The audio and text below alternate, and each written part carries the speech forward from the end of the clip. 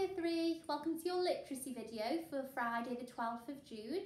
So today you'll need your literacy pack with the week commencing the 8th of June and you can turn all the way to Friday's learning where we'll be doing some reading and some comprehension today.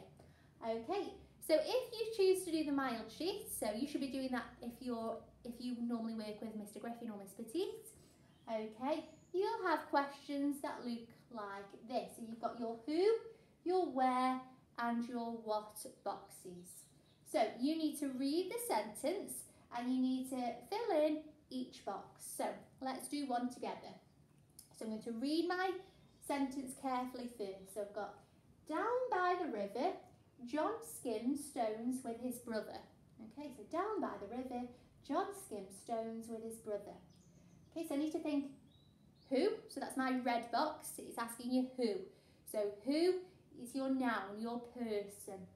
Okay, so I'm looking for a person. So down by the river, John. Okay, I can underline it if you like. Okay, so in my box, I'm going to write John. He is my who.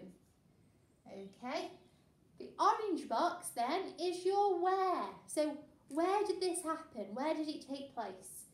So down by the river, John skimmed stones with his brother. Okay, so my where down by the river. Okay. Or you could just put by the river. So that's where it happened. Okay, oh, there we go. Your yellow one then is your what. And this is the one we seem to struggle with the most. So if we're thinking of what, it's an action. What did they do? Okay, so down by the river, John skimmed stones with his brother. So what did he do? What's the action? Ah, he skimmed stones.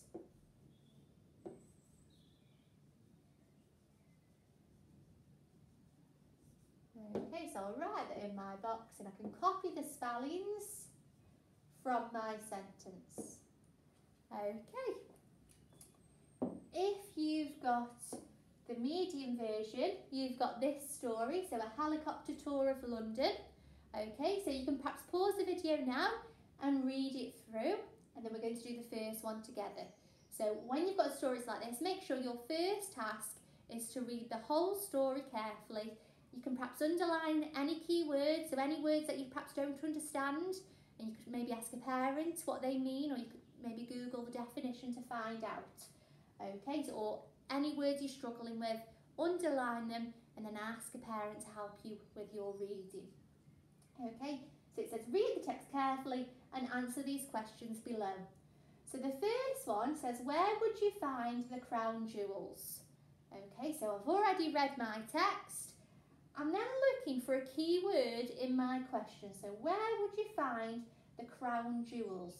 So I need to think, what words in that question might I find in the text? And I think it would be crown jewels. Okay, so I need to know where they are found. So I'm going to skim the text. I'm not reading it really carefully.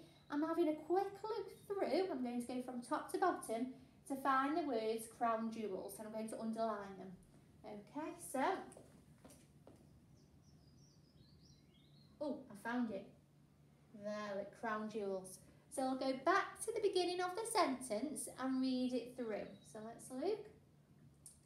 Okay, so beside the Thames, you can see the Tower of London, where the crown jewels are kept. And over in the distance is Buckingham Palace. So I don't need to read on because I've already found my answer. Beside the Thames, you can see the Tower of London, where the crown jewels are kept. So they're kept in the Tower of London. Okay, so I'm going to answer my question.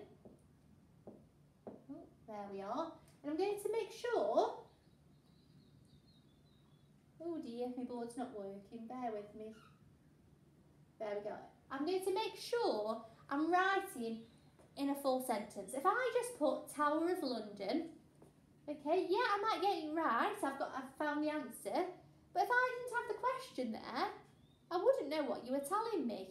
Okay, so we need a full sentence. So I'm going to write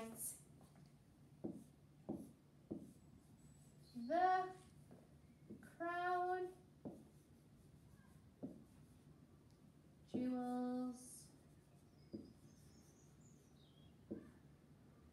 oh, that's a J, it's not working out, there we go. The crown jewels are kept. My ear's not gone on very well. Okay, so the crown jewels are kept in the Okay, so the Tower of London, it's a name, it's a proper noun, so I need a capital letter.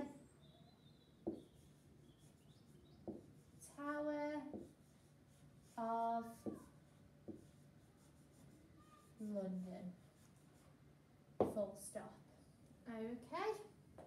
You could have perhaps extended that to the crown jewels are kept in the Tower of London, which is beside the Thames, if you wanted to make it longer.